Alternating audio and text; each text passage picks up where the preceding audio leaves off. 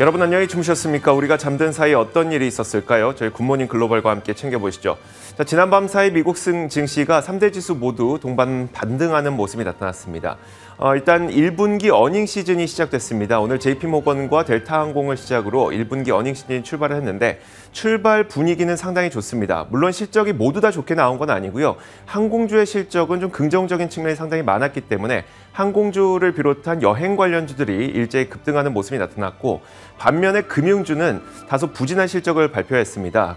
하지만 이 금융주의 경우에는 이번 실적이 좀 안 좋을 것이라는 게 미리 시장에서도 많이 알려져 있었기 때문에 금융주의 실적에 대한 어떤 부담감보다는 항공주 실적에 대한 긍정적인 기대감이 시장 전체적으로 더 크게 작용을 했던 것 같습니다. 자, 물론 시장에 부정적인 재료가 없었던 것은 아니었습니다. 일단 어, 생산자 물가 지수가 발표가 됐는데요. 11.2%를 기록해서 어, 월간 기준으로 봤을 때도 시장 예상치를 상회하는 이 높은 물가 압력을 기업들은 경험하고 있는 것으로 확인이 됐습니다. 또 한 가지가 국제 유가가 다시 한번 상승세를 타면서 WTI 가격은 104달러를 돌파하기도 했거든요. 자, 그럼에도 불구하고 시장에서는 어닝 시즌에 조금 더 초점을 맞추고 있는 것 같습니다. 기업들이 얼마나 인플레이션을 잘 극복해 나아가고 있는지 여기에 초점을 맞추 맞추면서 오히려 시장은 반등하는 모습을 나타냈습니다. 자, 전체적인 분위기는 이랬습니다. 자세한 마감 시황은 어땠는지 살펴보겠습니다. 전체린 앵커입니다. 네, 현재 시간 수요일 미국 증시 마감 상황 정리해 드리겠습니다. 이제 오늘부터 어닝 시즌이 개막한 가운데 오늘 나온 성적표들 대체적으로 강했습니다. 여기에 힘입어서 3대 지수 일제히 반등을 했고요. 특히나 어제까지 3거래일 연속 하락했던 S&P 500 지수와 나스닥 지수가 각각 1%, 2% 막판까지 상승 탄력을 꾸준히 확대해 나가는 모습이 나왔습니다. 오늘 전해진 실적 결과들 체크를 해 볼 텐데 먼저 델타 항공부터 보겠습니다. 주당 주당 순 손실을 기록하기는 했지만 여행 수요가 급증한 덕분에 연료비 부담을 소비자들에게 전가시킬 수 있었고 그 덕분에 2분기부터는 이익을 기록할 수 있겠다는 전망을 내놨습니다. 이번 earning season에서는 특히나 이 기업들이 높아지는 인플레이션 압박에 얼마나 잘 대처하고 있는가가 한 가지 핵심 포인트가 될 텐데 델타항공은 이것들을 굉장히 잘 해내고 있구나라는 평가가 전해지면서 안도감이 일어났고요. 그 덕분에 델타 델타항공을 비롯해서 어, 어, 항공주들 동반 상승하는 모습을 나타냈습니다. 아메리칸 에어라인이 많게는 10%, 사우스웨스트 에어라인이 7%대 급등세를 나타냈습니다. 자, 이어서 은행주들 가운데에서 JP모건의 실적도 확인해 보겠습니다. 다소 저조한 실적 결과를 전해줬는데 EPS가 2.63달러로 작년보다 42% 감소세를 나타냈고요. 매출 역시도 5% 감소를 기록했습니다. 러시아에 대한 제재로 발생 발생한 손실만 5억 달러가 넘어간다라고 이야기를 했고 여기에 더해서 이날 다이먼 회장이 인플레이션과 공급난 그리고 우크라이나 전쟁을 이유로 앞으로도 경제적 어려움에 직면할 거다라고 발언을 하면서 주가가 크게 흘러내렸습니다. 3%대 급락으로 오늘 금융섹터 안에서 가장 저조한 퍼포먼스를 나타냈고요. 이제 내일은 골드만삭스와 시티그룹 등 나머지 은행주들의 실적 발표가 예정되어 있다는 점까지 체크해 주시면 되겠습니다. 자, 오늘 나온 경제 지표도 한 가지 확인해 보겠습니다. 어제 발표된 CPI 지수에 이어서 오늘은 생산자 물가 지수가 발표됐는데요. 이 생산자 물가는 향후 소비자 물가에 전가될 수 있기 때문에 흔히 인플레이션 선행 지표로 여겨지곤 합니다. 3월 PPI 지수가 이번에는 전년 동월 대비 11.2% 올라서면서 역대 최고치를 경신했습니다. 전월 대비로 보더라도 1.4% 상승으로 전문가 예상치였던 1. 3.1%를 상회하는 수준으로 발표가 됐습니다. 인플레이션 지표가 이렇게 상당히 높게 나온 게 사실인데요. 그렇지만 CPI 지수보다는 시장과의 연계성이 떨어지기 때문에 오늘 별다른 하락 재료로는 작용하지 않았고 10년물 금리 역시도 PPI 지수가 발표된 이후에 오히려 하락하는 양상을 나타내고 있는 하루가 되겠습니다. 자, 그 밖에 종목별 흐름 히트맵을 열어서 확인해 보겠습니다. 보시다시피 전반적으로 강세 흐름을 나타냈고요. 빅테크 주들 오늘 일제일 반등으로 마감이 됐습니다.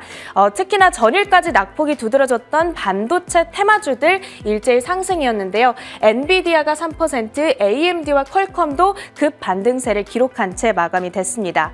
바로 아래 금융 섹터 내에서는 어, 방금 전에 말씀드렸다시피 JP모건이 실적 발표 이후에 급락세를 나타냈다라는 점이 특징이 되겠고요. 바로 위에 페이팔도 큰 폭의 낙폭을 기록했습니다. 이 월마트가 기존 페이팔 임원이었던 존 레이니를 CFO로 영입하겠다라고 발표를 하면서 페이팔의 주가에는 악재로 작용을 했는가 하면 반면 월마트는 2.6% 상승세를 시현하는 하루였습니다. 이 델타 항공의 실적 결과에 힘입어서 항공주들 일제히 반등한 부분 체크를 해볼 수가 있겠고요. 그뿐만 아니라 더 넓은 범위의 여행 관련주들 일제히 강했습니다. 여기에 포함되어 있는 종목들이 될 텐데 카니발이 5%, 익스피디아가 4%대의 급등으로 마감을 지었습니다. 자, 그 밖의 특징주들 하나씩 차트를 열어서 확인해 보겠습니다. 첫 번째로 패스널 역시나 오늘 실적 발표 이후에 움직였던 종목이 될 텐데요. 17억 달러 매출에 주당 47센트의 이익을 거뒀습니다. 각각 레피니티브의 기대치보다 높은 결과였던 만큼 어, 주가에는 긍정적으로 작용을 했습니다. 2.24% 상승 마감을 짓고요. 다음으로는 brokerage 기업인 찰스 슈왑도 보겠습니다. 모건 스탠리에서 찰스 슈왑을 top pick주로 선정하면서 오늘 강세 를 나타냈습니다. 금리 인상에 따른 수혜가 기대된다라는 평가를 전해지면서 어, 잠재적인 주가 상승 여력을 65%로 매기고 있습니다. 찰스 슈왑의 주가는 오늘 5% 가까운 상승세를 나타냈고요. 마지막으로 워너브로 디스커버리 확인해 보겠습니다. 뱅크 오브 아메리카에서 매수 coverage를 개시해 주면서 주가 강하게 탄력을 받아갔습니다. 두 미디어 기업의 합병을 긍정적으로 평가하고 있습니다. 단기적으로는 변동성을 보일 수 있겠으나 장기적으로는 급등할 거라는 전망을 내놓고 있고요. 워너브로의 주가는 5%대 급등으로 마무리를 지었습니다. 이렇게 오늘장 전해졌던 특징주들 모두 확인해 봤고요. 마지막으로 상품 선물 시장 움직임까지 체크해 보겠습니다. 첫 번째로 국제 유가부터 봐야 될 텐데 오늘도 WTI 선물 가격은 이렇게 강한 상승세를 나타내고 있습니다. 러시아와 우크라이나 간 평화 회담이 좀처럼 진전을 보이지 못한다라는 부분이 압박으로 작용을 하고 있고요. 그러면서 미국 내 원유 재고량이 지난주 900만 배럴 늘었다라는 소식에도 불구하고 이렇게 3%대의 급등세를 나타내고 있습니다. 마지막으로 금 가격까지 확인해 보겠습니다. 이제 어제는 CPI 지수가 발표가 됐고 오늘 PPI를 통해서 높은 인플레이션에 대한 압력이 계속 이어지고 있죠. 어, 그러다 보니까 연준의 금리 인상 자체보다는 인플레이션으로 포커스가 옮겨가면서 금 가격도 조용하지만 꾸준한 랠리를 보여주고 있습니다. 오늘도 0.3% 가까이 상승하면서 1개월 내 고점 부근까지 현재 올라와 있습니다. 이렇게 미국 증시 마감 상황 정리해드렸고요. 애프터마켓으로 이어가겠습니다.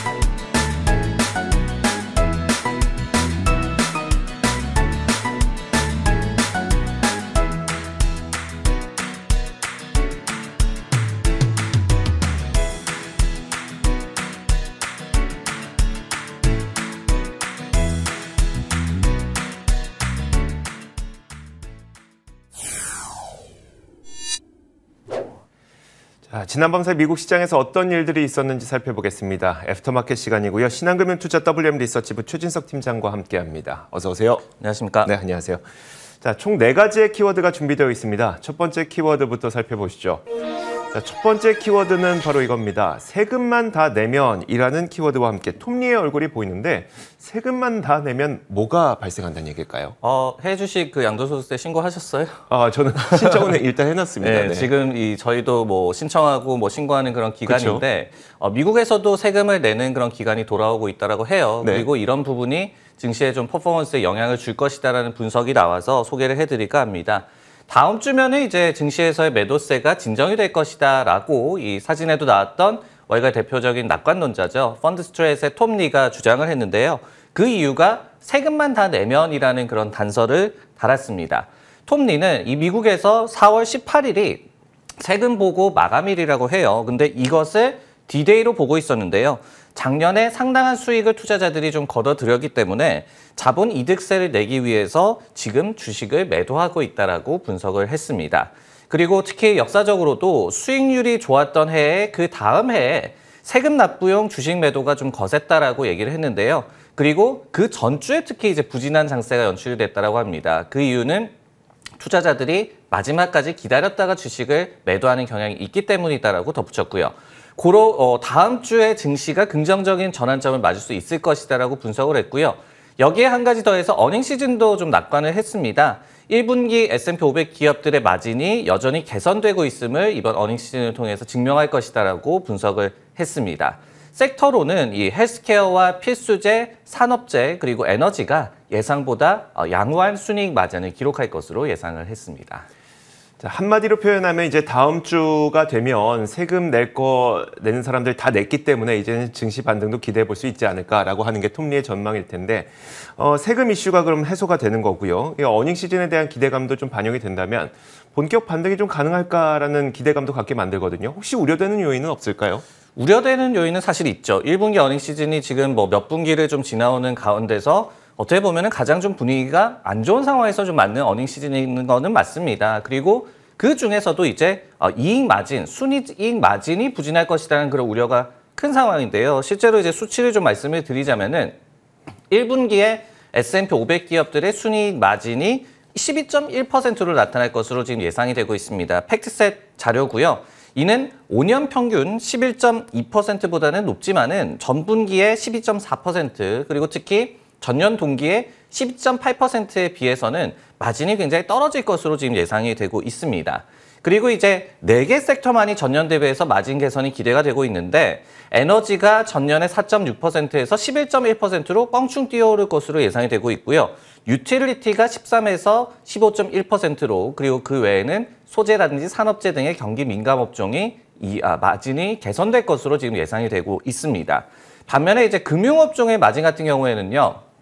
전년에 22.7%에서 16.6%로 크게 내려갈 것으로 예상되는 것을 비롯해서 무려 7개 섹터가 마진 악화가 좀 예상이 되고 있거든요. 그렇기 때문에 이제 이 부분을 좀 주시해야 할 것으로 보이고 금융 같은 경우에는 이제 국채금리가 올랐는데 왜 마진이 좀 내려갈까 이렇게 생각하시는 분들도 있을 것 같은데 네. 은행의 이제 주된 수익이 단기로 좀 싸게 자신들이 자금을 조달을 해가지고 비싸게 이제 이자를 물리고 대출을 해주는 건데 지금은 장단기 금리 차가 뭐 역전이 되기도 했고 월- 워낙 이제 단기 금리도 좀 오르고 있기 때문에 예대 맞은 측면에서도 그다지 수혜를 받지 못했다 이렇게 좀 해석을 할 수가 있겠습니다. 알겠습니다.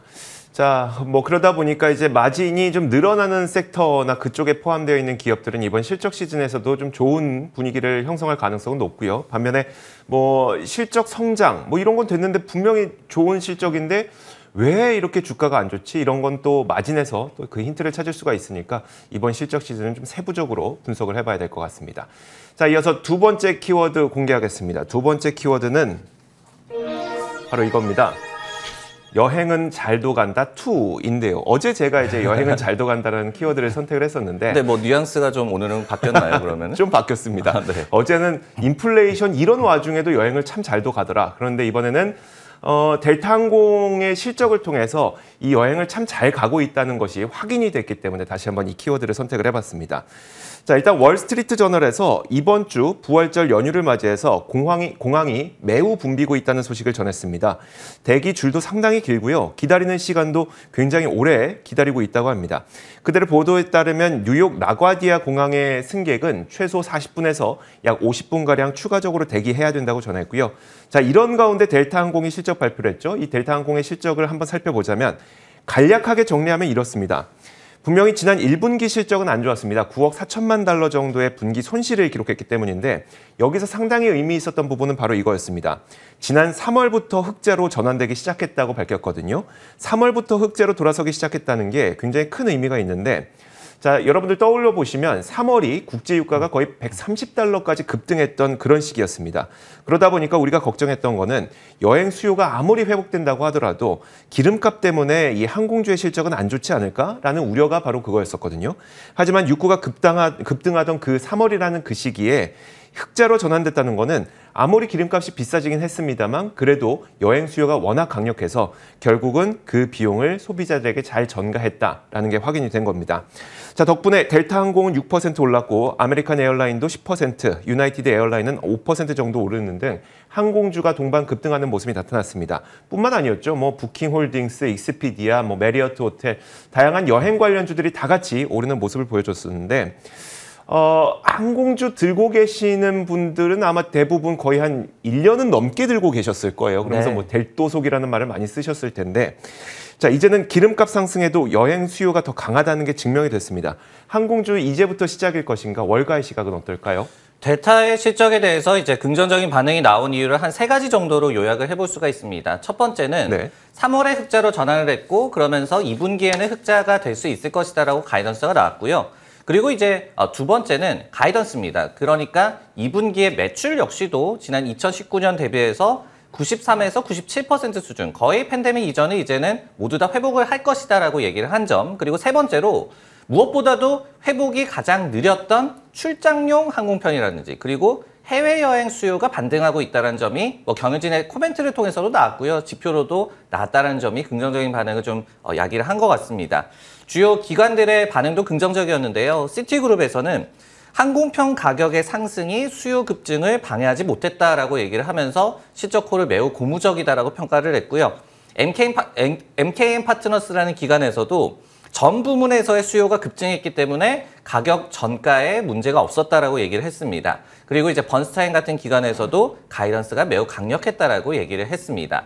다만 저희가 앞으로 좀 살필 만한 그런 지표나 요소는 있을 것 같은데요. 역시 이제 번스타인입니다. 어, 언제까지 항공료 상승을 감내할 수 있을지는 모른다. 그러니까 얼마나 항공료가 어, 얼마나 이제 뭐 유가가 올라서 항공료가 올라야지 소비자들이 이제는 발길을 돌릴지 그거를 가늠하는 거는 힘들다라고 얘기를 했거든요. 그렇기 때문에 이 가격을 예측하는 것보다는 경영진이 어떻게 이제 경영을 해서 이런 유류비 상승을 막고 그리고 적당하게 뭐 항공편에도 수요를 어, 둔화시키지 않는 선에서 인상을 하고 이렇게 조절하는 능력을 더 보는 것이 필요하다라고 또 얘기를 하기도 했습니다. 알겠습니다. 어, 또 한 가지 중요한 점이 그 해외 출장용, 비즈니스용 여행이겠네요. 그 여행의 경우에는 유류비의 부담을 다소 덜 수 있는 여행이니까요. 아, 네. 알겠습니다. 이런 그런- 경영진이 뭐 그렇게 얘기를 했어요. 이제 어, 엔데믹 이 형국으로 가고 있기 때문에 우리가 예전에는 그렇게 생각을 했잖아요. 팬데믹 끝나더라도 출장 뭐 굳이 갈까? 근데 그러니까요. 이제 어, 또 뭐 비즈니스 하는 입장에서 본다면은 경영진도 face to face 대면에서 그렇게 어, 미팅도 하고 이런 것들이 다시 살아나고 있다라고 얘기를 했습니다. 네, 알겠습니다. 자, 이렇게 두 번째 키워드까지 살펴봤고요. 이어서 세 번째 키워드 보겠습니다. 자, 세 번째 키워드는 러시아 타격 체감이라는 키워드인데 JP모건의 사진이 있어서 이게 어떤 상관관계인가 싶어요. 네, JP 모건을 필두로 이제 미국의 대형 은행들의 실적 발표가 시작이 됐죠. 네. 근데 어, 러시아와 우크라이나 간의 전쟁, 그러니까 뭐 러시아 사태로 요약을 하겠습니다. 이 사태의 여파를 체감하게 하는 결과가 좀 공개가 돼서 이 부분 역시도 이번 어닝 시즌에 좀 잘 살펴보자라는 취지로 좀 키워드를 선정을 해봤습니다. 사측에서 지난 1분기에 러시아의 우크라이나 침공 관련해서 5억 2,400만 달러의 손실이 발생했다라고 얘기를 했습니다. 그러면서 자금 조달 스프레드 확대 및 상품 valuation 조정. 그러니까 뭐 상품 가격이 많이 움직였다는 얘기가 되겠죠. 그리고 이제 러시아와 연결된 파생 상품 등에서 이 같은 손실이 발생했다라고 설명을 했습니다. 여기에 더해서 이제 CFO 같은 경우에도 니켈의 극단적인 가격 변동에 1.2억 달러 정도 손실이 났다라고 설명을 또 하기도 했고요. 또 하나는 어, 인플레이션이라든지 그리고 이제 전쟁 여파에 대비하기 위해서 대손 충당금을 9억 달러 쌓았다라고 얘기를 했습니다. 이게 좀 중요한 것이 지금까지 그러니까 팬데믹 여파라든지 이런 것 때문에 많이 쌓아오다가 이제는 이거를 푸는 그런 단계였거든요. 네네. 근데 다시 한번 이런 부분이 손실로 잡히게 됐다는 점이 좀 중요할 것 같고요. 그리고 이제 JP모건 실적이 어떻게 본다면은 대형 은행들의 전쟁 타격을 좀 가늠하는 의미가 있었다라고 보여지고 앞서서 이 제이미 다이먼 CEO 같은 경우에도 주주 서한을 통해서 자신들이 러시아에 대해서 뭐 사업 익스포저는 굉장히 제한적이지만은 시간을 두고 10억 달러 정도 손실이 날 수 있을 것이다라고 경고를 했기 때문에 이것과 좀 맞물린 그런 뭐 부합하는 이번에 실적이 나왔다라고 보여집니다. 알겠습니다. 안 그래도 이제 이번 이번 1분기 실적 시즌을 볼 때는 러시아의 어, 러시아 사태로 인한 영향을 꼭 봐야 된다는 이야기도 많더라고요. 어제 보니까 넷플릭스의 러시아 가입자들이 제외되는 것을 좀 고- 어, 겨- 고려해야 된다는 경고도 있기도 했었던 만큼 참 러시아 사태도 우리 이번, 이번 1분기 실적에 굉장히 중요한 역할을 할 것 같은데 어, 이런 러시아 사태의 실적 영향이 어느 정도의 리스크가 될 것 같으세요? 어, 지금까지 그 기업들이 실적을 발표를 하면서 코를 한 내용을 좀 보면요. 네. 크게 이 이슈에 대해서 경계를 하는 것 같지는 않습니다. 왜냐면은 팩트셋에서 작년 12월 15일부터 올해 2월 17일까지 그러니까 리스크가 한창 이제 생겨나서 고조되던 그런 시기에 실적 발표한 기업들을 좀 조사를 해봤더니 18개 기업만이 우크라이나라는 그런 단어를 실적 콜에서 언급을 했습니다. 물론 이제 예년보다는 굉장히 많은 수치가 되겠죠. 하지만은 S&P 500 기업의 4%도 되지 않는다. 그럴 것이 S&P 500 기업들의 러시아와 우크라이나 향 매출 비중이 약 한 1% 정도에 불과합니다. 그리고 이제 지난주까지 집계를 했던 1분기 실적 콜 같은 경우에서도 어, 인건비와 쇼티지라는 단어가 13회 언급이 되면서 가장 많았고요. 그 이후에 뭐 코로나19와 그 영향에 대해서 12회 언급이 나왔고 그리고 어, 이 대비해서 좀 적은 러시아라든지 아니면 우크라이나 같은 언급은 다섯 번에 그쳤습니다. 그렇기 때문에 기업들이 그다지 이것을 메이저한 이슈로 보고 있지는 않다라고 보여지는 그런 상황이고요. 하지만은 우리가 이제 JP모건의 실적을 보면서 두 가지 정도를 생각을 해볼 수가 있겠죠. 첫 번째로 직접적인 사업에 링크가 없더라고 하더라도 이런 뭐 충당금을 쌓는다든지 상품 가격 변동에 타격을 받는다든지 이런 간접적인 피해는 우리가 경계를 해야겠다. 그리고 두 번째로 뭐 필립 모리스나 펩시코 같은 기업들이 특히 러시아나 우크라이나 향 매출 비중이 높은 기업들로 좀 지목이 되고 있습니다.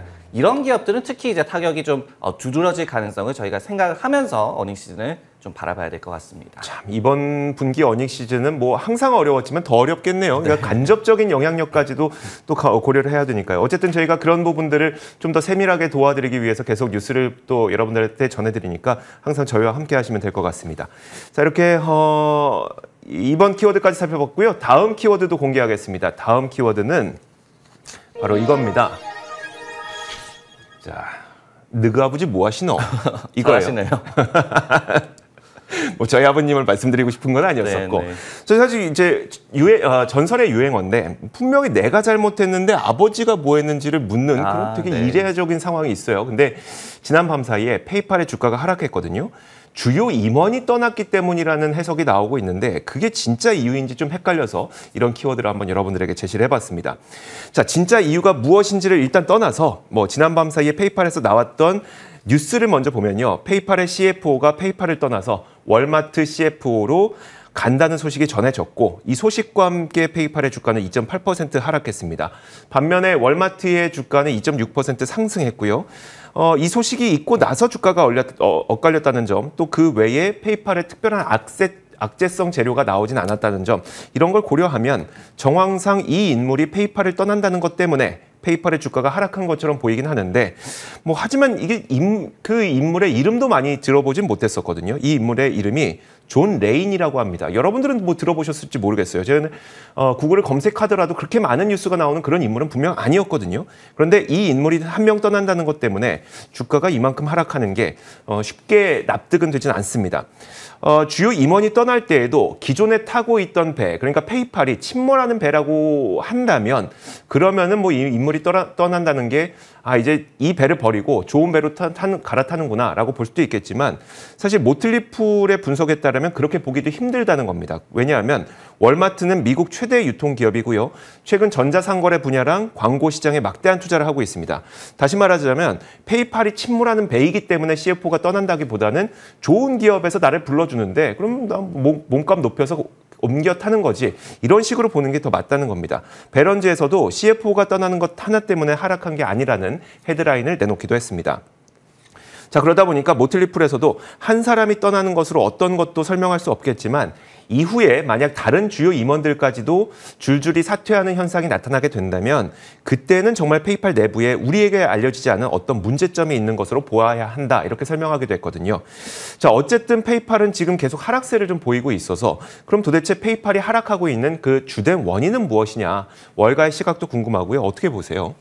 특히 이제 CFO가 회사를 떠났잖아요. 네. 이 사람이 엄청난 뭐 인물이라서 그렇다라기보다는 그만큼 재무 목표를 설정하는 데 있어서 그리고 달성하는 측면에 있어서 못했다라는 점을 증명을 한다. 그렇기 때문에 이번에 CFO의 이탈이 주가 하락을 야기를 했다. 이런 해석이 좀 지배적인 것 같습니다.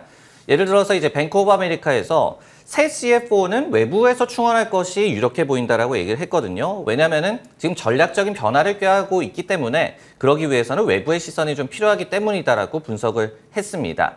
미즈호에서도 과도하게 페이팔은 지금까지 재무 목표를 제시를 해왔고 달성하는데 실패를 해왔다라고 얘기를 했고요. 그리고 주가가 전고점 대비해서 65% 하락하는 등 굉장히 좀 부진해왔기 때문에 이거를 좀 감안해서 CFO가 떠나는 것이 놀랍지 않다라는 반응을 나타냈습니다. 모건 스탠리도 시장 대비해서 우월한 성장세를 유지하고 그리고 재무 목표를 달성할 수 있을 것인가 하는 그런 기업의 능력에 대해서 의구심 그리고 또 공포감을 재확인하는 것이 이번에 CFO 이탈이었다라고 얘기를 했거든요. 그렇기 때문에 이런 요인들 때문에 일단은 이번에 어, 임원 이탈이 좀 주가의 하락세 야기하는 약재로 작용한 것 같습니다. 네, 알겠습니다. 자, 이렇게 지난 밤 사이에 있었던 여러 가지 일들을 저희가 네 가지 키워드와 함께 살펴봤습니다. 애프터마켓 시간이었고요. 신한금융투자 WM 리서치부 최진석 팀장과 함께 이야기 나눠봤습니다. 고맙습니다.